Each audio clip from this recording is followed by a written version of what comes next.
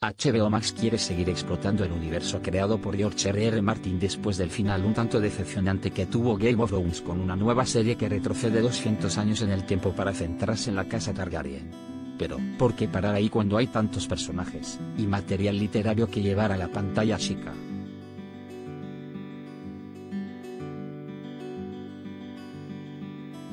El próximo proyecto de la plataforma de streaming será una nueva serie que retomará la historia del personaje de Jon Snow justo donde lo dejaron los espectadores, cruzando el muro, camino a una vida en el exilio. En un principio varios medios especializados, como The Hollywood Reporter o The Line se hicieron eco de la noticia, basándose en una filtración que aseguraba además que el actor Kit Harington retomaría su antiguo papel, pero siempre quedaba la posibilidad de que los rumores no fueran ciertos como sucedió hace unos días con el supuesto regreso de Regine Page o la próxima temporada de Bridgerton, o que el proyecto estuviera todavía en el aire.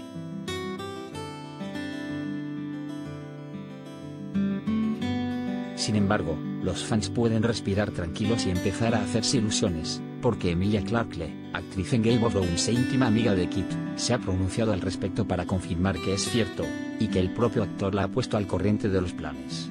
Parece que por el momento esa información no debería ser de conocimiento público, porque ella se ha apresurado a matizar sus palabras.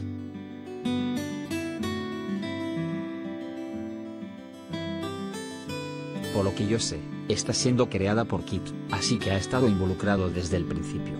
Así que, si se hace, con un poco de suerte lo que verán llevará el sello de aprobación de Kit Harrington, añadió Emilia con precaución, en sus declaraciones a la BBC.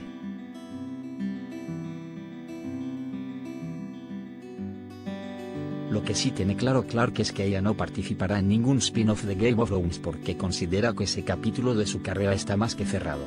Ahora prefiere centrarse en ganarse el respeto del mundo del teatro en su debut en el West End londinense con la obra de Seagal, sobre todo después de que en 2013 recibiera muy malas críticas por su trabajo en una versión de Breakfast at Tiffany's en Broadway.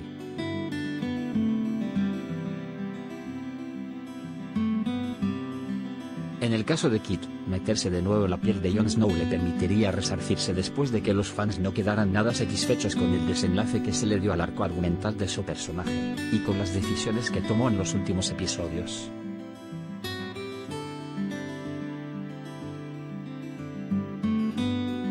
Emilia Clarke, actriz de Game of Thrones, decidió cerrar el 2020 con la venta de su lujosa mansión,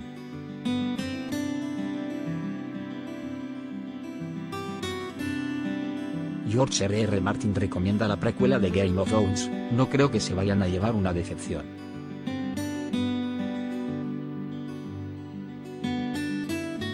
Temas relacionados.